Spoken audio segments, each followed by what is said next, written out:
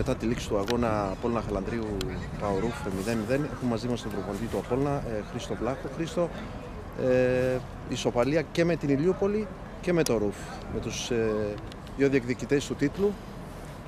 Ε, είναι κάτι πολύ σημαντικό και παράσιμο που έχουμε για την ομάδα μας και μάλιστα με όλα αυτά τα προβλήματα που είχαμε μέσα στην εβδομάδα καθώς αναγκαστήκαμε να παίξουμε με ένα στόπερ είχαμε στη διάθεσή μας αυτή τη στιγμή αντιμετωπίσαμε πρόβλημα μέσα με το βασικό μας τερματοφύλακα να χτυπάει παίξαμε με 10 παίχτες στη συνέχεια οπότε αυτή η νίκη, αυτή η ισοπαλία γιατί για μας πραγματικά η ισοπαλία έτσι όπως είναι σαν νίκη ε, δεν είναι μεγαλύτερη αξία στην προσπάθεια που κάνανε τα παιδιά.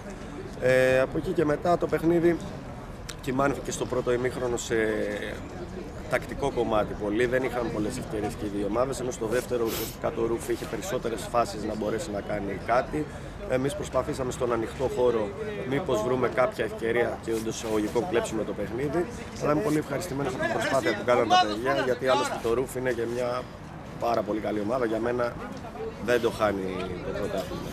Συνολικά για την ε, φετινή πορεία της ομάδας, ε, Πώς την κρίνετε εσείς, Κοιτάξτε, ξεκινήσαμε στον πρώτο γύρο και ήμασταν πάρα πολύ καλά. Όταν τελείωσε ο πρώτος γύρος, ήμασταν στην έκτη θέση. Αποδυναμωθήκαμε σιτά το Δεκέμβρη, διότι φύγανε τέσσερα παιδιά που πήγαν σε μεγαλύτερη κατηγορία. Και αυτός είναι ένας στόχος που έχουμε στα Συμβούλιο.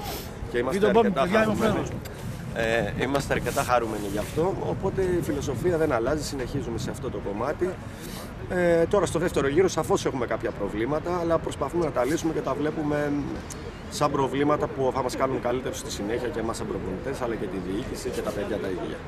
Ευχαριστούμε πάρα πολύ. Ευχαριστώ πολύ.